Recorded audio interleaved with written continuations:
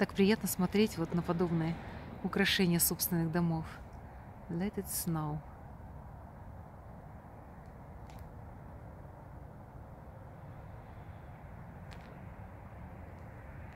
Так радостно.